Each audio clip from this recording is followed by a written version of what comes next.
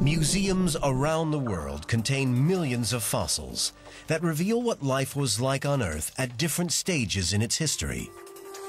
Because each fossil creature can be radioactively dated, we know when and in which order they lived.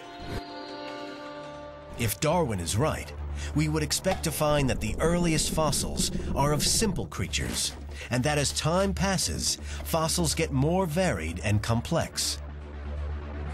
To visualize what creatures lived on Earth and when, imagine the whole history of life on our planet as a skyscraper, about as tall as the Empire State Building.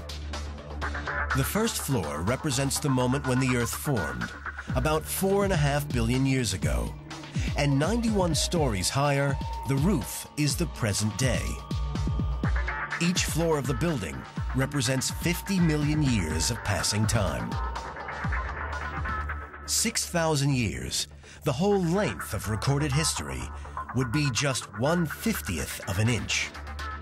That's the thickness of the coat of paint on the roof. The first fossil evidence for life appears three and a half billion years ago on the 22nd floor.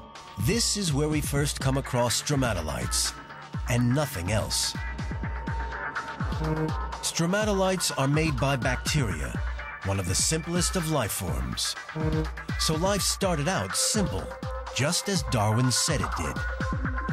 But as we go forward in time, when do living things become more complex and more varied?